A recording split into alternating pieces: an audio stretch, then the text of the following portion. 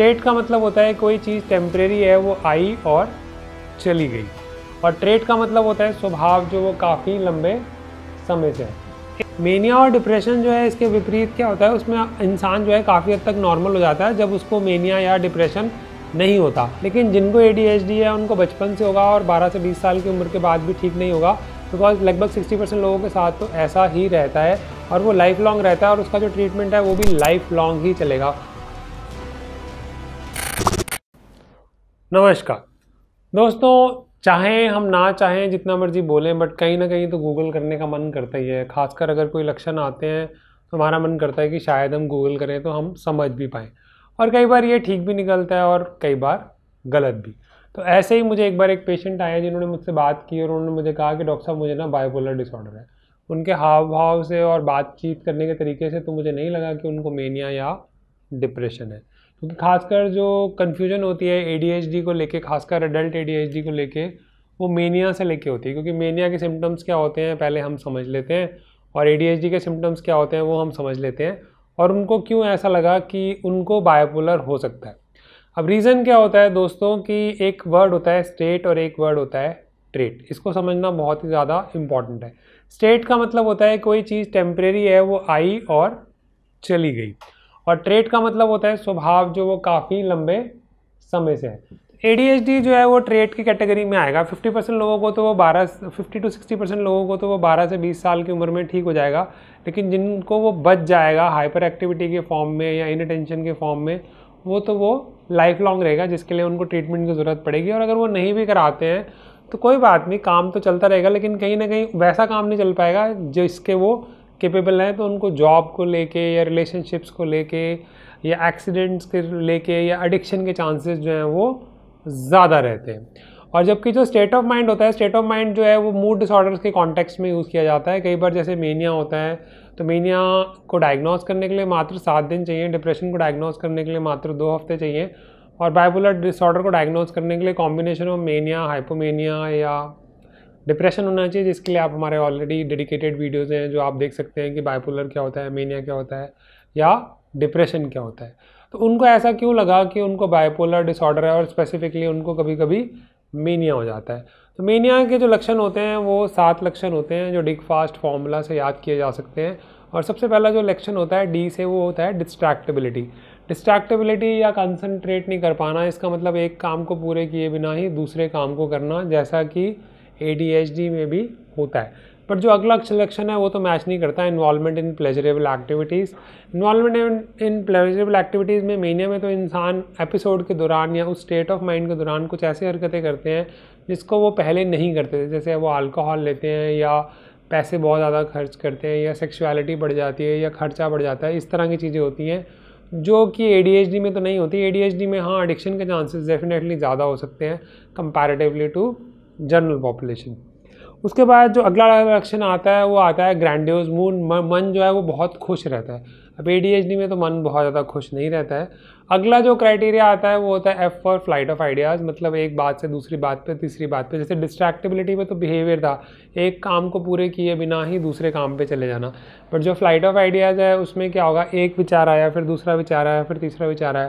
क्योंकि एडीएचडी के मन में, जिनको एडीएचडी होता है, उनके मन में भी एक के बाद दूसरे विचार आते रहते हैं।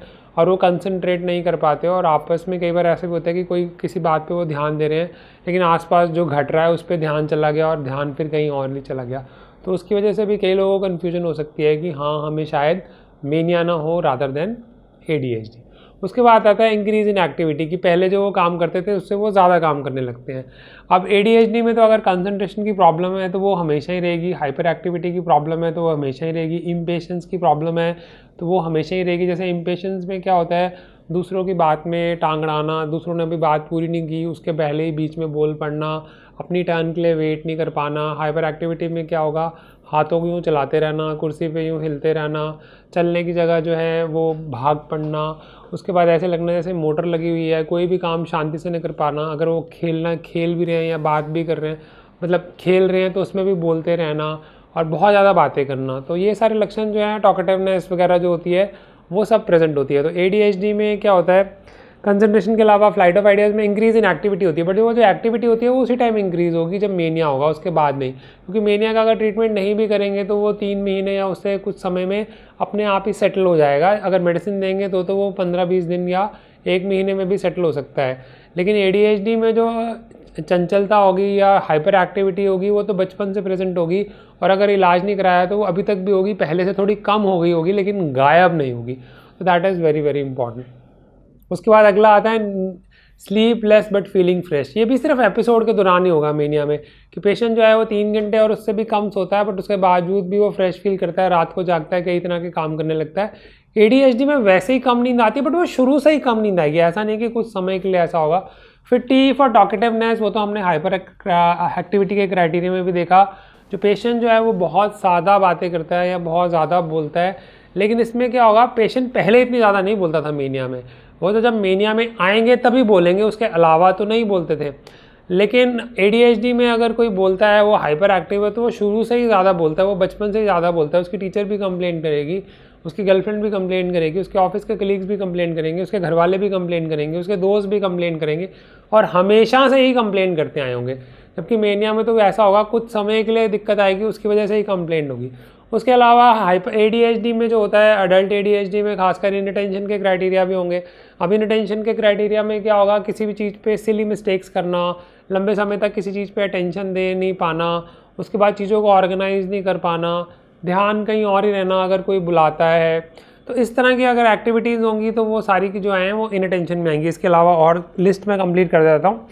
इंस्ट्रक्शंस को फॉलो नहीं कर पाना उसके बाद है, जो है, चीज़ों को घुमा देना, जो उनकी इंपॉर्टेंट चीज़ें हैं, कभी यहाँ रख दी, कभी वहाँ रख दी, ध्यान ही नहीं रहा कि कहाँ रख दी तो वो चीज़ें जो है दिमाग से निकल जाएँगी। उसके अलावा अगर कोई काम कर रहे हैं तो आसपास जो घट रहा है, उसके अंदर ध्यान चले जाना, जिसको बोलेंगे कि एक्सटर्नल स्टूमलेस की तरफ़ ध्यान चला जाता है। और अपने जो डेली रूटीन है, उनको भूल जाना, जैसे पानी का बिल जमा करना, भूल जाना, बिजली का बिल जमा करना, भूल जाना, या फिर जो है वो क्रेडिट कार्ड की स्टेटमेंट जो है, आ गई है और उसका बिल पे करना है, बट फिर भी बिल पे नहीं किया, पैसे की भी दिक्कत नहीं थी, बट वो मिस आउट हो गया। तो ये सारी चीज़ें जो हैं, ये इनटेंशन का कारण हो सकती हैं। अब ए जो अडल्ट ए है, उसमें जो खास बात है, उसमें टोटल 18 क्राइटेरिया हैं, जिसमें से नाइन क्राइटेरिया तो हाइपर एक्टिविटी और इम्पल्सिविटी के होंगे, जिसमें से पाँच प्रेजेंट होने चाहिए। बच्चे हैं तो तो छः होने चाहिए, बट अगर उम्र सत्रह साल से ज़्यादा है तो पाँच ही प्रेजेंट होने चाहिए।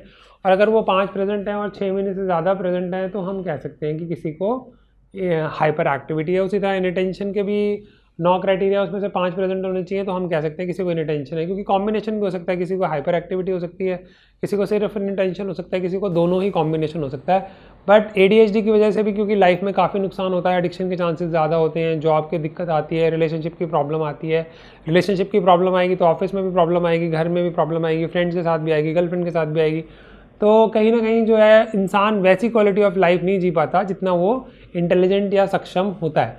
मेनिया और डिप्रेशन जो है, इसके विपरीत क्या होता है, उसमें इंसान जो है काफ़ी हद तक नॉर्मल हो जाता है। जब उसको मेनिया या डिप्रेशन नहीं होता।